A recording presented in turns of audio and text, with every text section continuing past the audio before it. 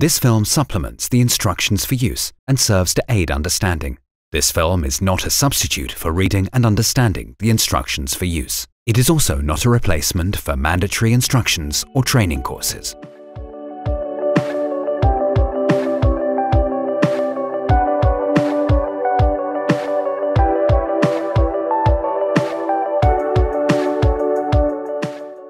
The Draeger PSS Airboss system includes PSS Airboss Agile, a full face mask Draeger FPS 7000, a lung demand valve LDV, and a compressed air cylinder.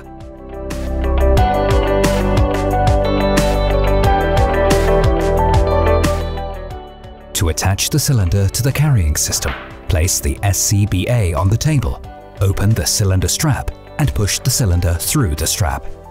Adjust the length of the strap to fit to the cylinder diameter, but do not tighten it. Align the cylinder valve and the pressure reducer's handwheel and connect them. Do not use tools or over-tighten. Tighten the cylinder strap using the strap fastener. To remove the cylinder, first check whether the cylinder valve is closed and then follow the reverse procedure.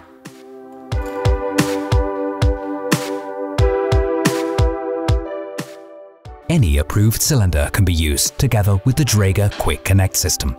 Simply thread on the Quick Connect adapter. Do not use tools or over-tighten to allow for easy removal in case the cylinder needs to be used with an SCBA that is not equipped with Draeger Quick Connect.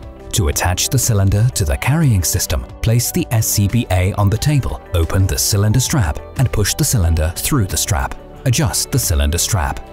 Align the cylinder valve and the quick connect on the reducer and push the cylinder valve down. Tighten the cylinder strap using the fastener. To remove the cylinder, first check whether the cylinder valve is closed. Open the cylinder strap, push down on the quick connect handwheel and make a quarter turn. The cylinder will be released only if the complete SCBA is depressurized.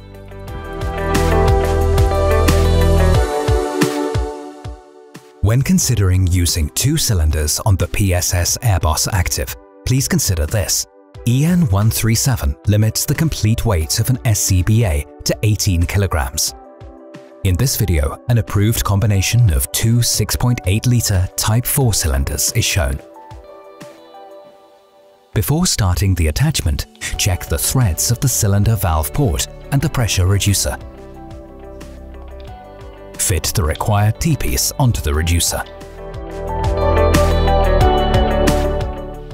Adjust the cylinder strap for two-cylinder use.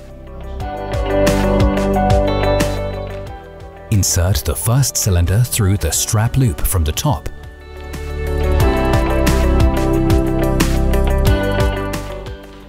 And attach the cylinder to the T-piece on the carrying system.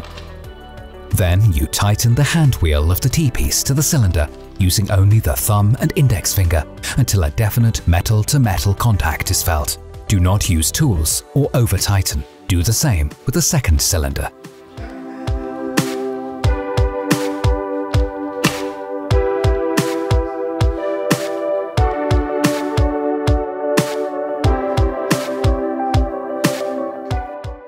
Now take up the slack in the cylinder strap and pull to operate the strap fastener. To remove the cylinders, first check whether the cylinder valves are closed and then follow the reverse procedure.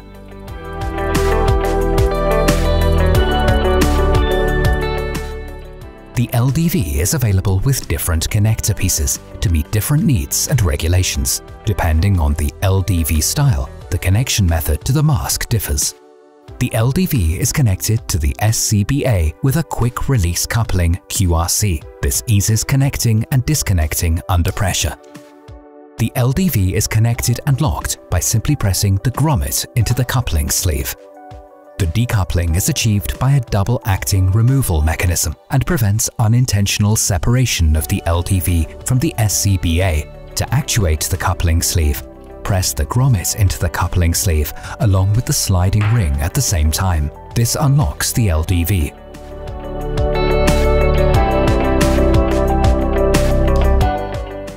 multi-attachment points on the shoulder strap and the waist belt allow the easy attachment of other pieces of equipment like the pouch for the Draeger Parat escape hood, D-rings, or just the LDV holder.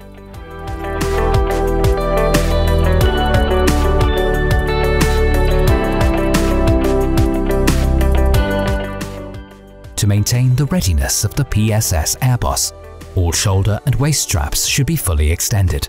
The PSS Airboss can be adjusted to the wearer's height in three steps before or during use.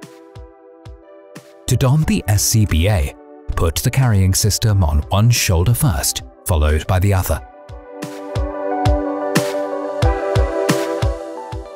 Close the buckle of the waist belt and pull, ensuring the set sits comfortably on your hips. Finally, tighten the shoulder straps, leaving a space between the shoulder and the harness to allow freedom of movement, and fold the strap ends inwards if required. When positioned correctly, you should be able to reach over your head without any problem. The waist belt should be able to pivot with your movements. Your coat should not be pulled up when bending down. The weight of the SCBA should be on your hips, not your shoulders.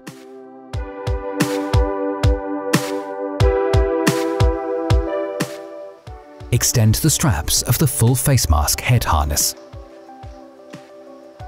Place the chin part of the mask on your face, then gently push onto your face and adjust it by pulling the lower strap straight back first and pulling the upper straps afterwards. Ensure that the middle strap is centered at the top of your head.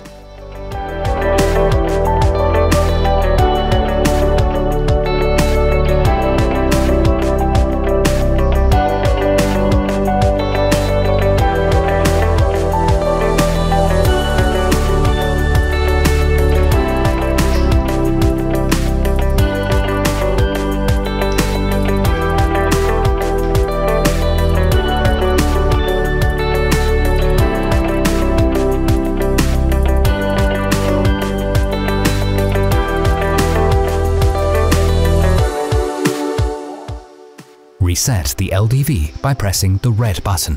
Slowly and fully open the cylinder valve anti-clockwise. During pressurization, a momentary sounding of the whistle will occur. Fully close the cylinder valve.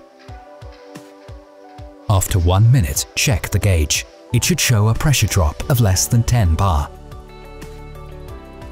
If so, cover the outlet port of the valve with the palm of the hand press the rubber cover to switch on the positive pressure. Vent the system by carefully lifting the palm of the hand from the outlet port to maintain a slow pressure decrease until the low pressure warning whistle sounds between 60 and 50 bar and the pass device sounds an alert and its red LED starts flashing. Continue to vent the system until fully exhausted.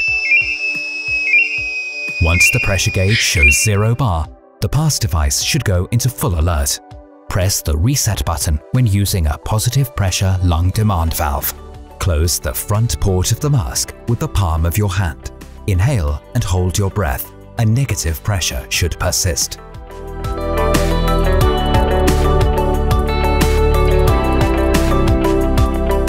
At the end of an SCBA operation, the SCBA needs to be fully depressurized and the pass device needs to be switched off by holding both buttons. Otherwise, the pass device will stay active and go into motionless alarm once left alone.